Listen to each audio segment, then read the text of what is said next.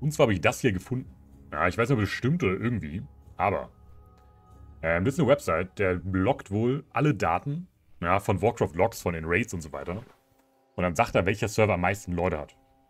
Ähm, der war letzte Woche noch sehr inakkurat, weil da nur Alis drin waren und wenig Hordler, also total weird. Ähm, ich bin mir nicht sicher, ich packe hier mal auf Europa, ob das so stimmt. Ja. Laut dem nämlich ist Living Flame immer noch der vollste Server, was irgendwie Sinn machen würde, weil er gelockt ist. Aber ich fände es weird, weil es hören doch relativ viele Spieler auf, oder? Auf dem Locked Server.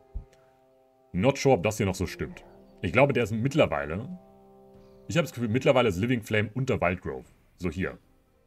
Denn ich habe auf diesen beiden Servern habe ich Accounts, wo ich das Aha spiele. Da habe ich nur Level 1 Teil, spiele nur Aha. Ja. Und auf diesen beiden Servern verkauft sich alles wie... Also geht weg wie warme Semmeln. Auf Living Flame verkauft sich gar nichts. Deswegen denke ich, Living Flame ist wahrscheinlich unter Wildgrove. Von der Statistik her. Lone Wolf, Wildgrove sind circa gleich groß. Obwohl, nee, Wildgrove hat weniger Horde. Ja, Lone Wolf ist, denke ich mal, dann Top 1.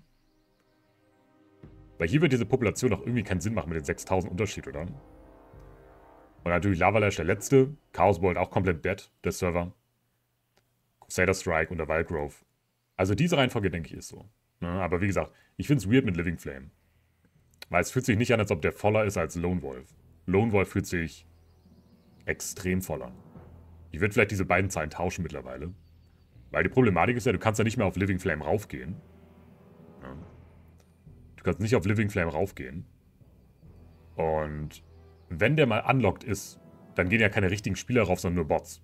Weil die ja diese Q snipen. Richtig. Ähm, diese Player sind nicht die, die drauf spielen. Das sind die, die die, die, die Warcraft-Logs loggen. Also, hier. In den letzten 30 Tagen die Warcraft-Logs da aufgetaucht sind. Das heißt, wenn du jetzt raiden gehst und in deinem Raid ist niemand, der diesen Log hochlädt von eurem Raid, dann tauchst du gar nicht mit drauf. Also jeder Server hat auf jeden Fall noch mehr Spieler als die, die hier stehen. Viel, viel mehr. Also die ganzen Bot-Accounts, die gibt es ja nicht mit drin, die ganzen Bots, die ganzen Bankchars, nichts ist mit dabei. Ähm, genau. Es sind, wie gesagt, aktive Spiele letzten 30 Tage. Ja. Also wie gesagt, wird auf jeden Fall interessant werden.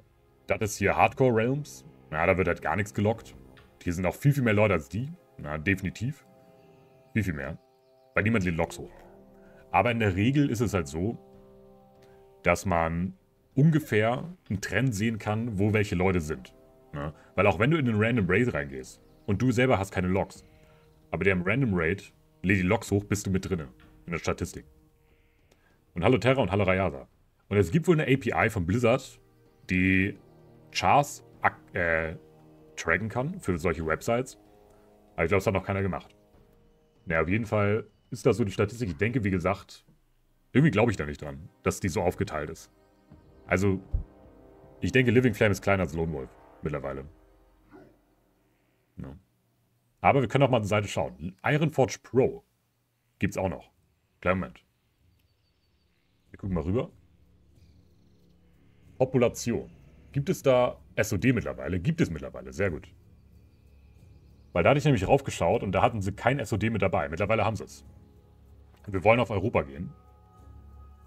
Okay, da sieht es aber ähnlich aus. No. Also wieder 50-50. Hier sind sogar mal ein paar mehr Charakter mit drauf. Wieder 50-50. Auf den meisten Realms. Überall ist mehr Allianz, habe ich euch gesagt. Allianz wird eigentlich überall dominant sein, weil es ist die bessere Fraktion. Du bist beliebter bei den Leuten.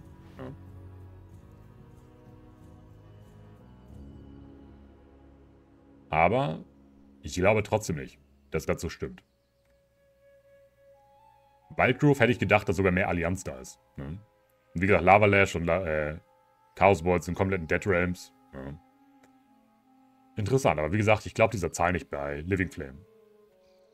Da ist nämlich ich merke es halt selber. Ne? Ich merke das, wie viele Sachen ich im AH verkaufe. Ich verkaufe auf allen drei Servern ungefähr die gleichen Sachen. Und Lone Wall Wildgrove geht das so hart gut weg. Und auf Living Flame passiert ja gar nichts. Ich finde es ein bisschen weird.